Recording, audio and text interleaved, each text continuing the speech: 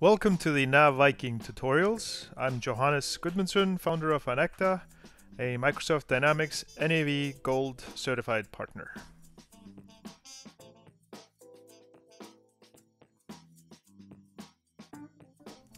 Hello everyone, uh, welcome to the Coffee Mug tutorials again. Um, we are talking about year end. So I was just going to discuss a little bit today about uh, dimensions. Uh, last video we pointed to uh, closing of the year. We have a video on that, how to do physical inventory counts. Uh, we have a video on that uh, for normal warehouses. But one thing I want to talk about is dimensions. Now, if you're running NAV, you can, I am right here in NAV 2018. Uh, if I go into dimensions, you probably are already using dimensions uh, if you're using NAV. Chances are. And uh, it's just a really awesome thing. And, uh, you know, people tend to plug it in and start using it. And so if you're wondering what dimensions are, we have videos on those as well.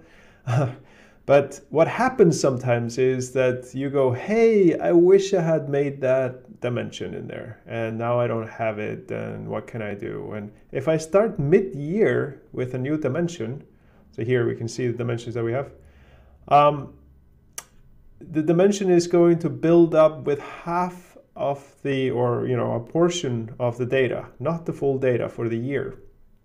So this actually might be a good time to start using a new dimension uh, because you'll get a full year of that dimension into the bookings.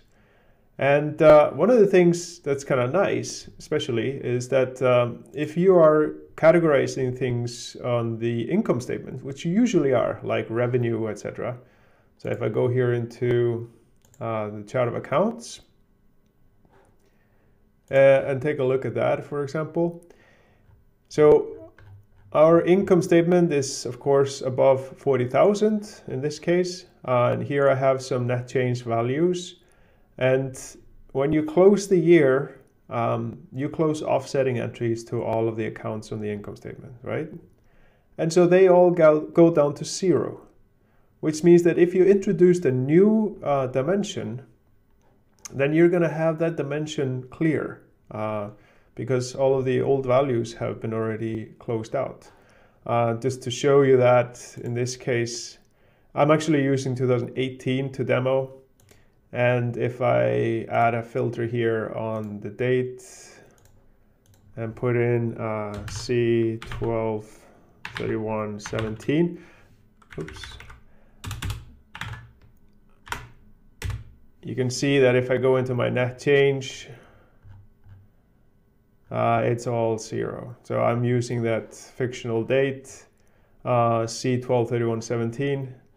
I can see that everything has been closed up. So, so nothing is happening. And actually in 2018, 2017 has been closed out in the demo database.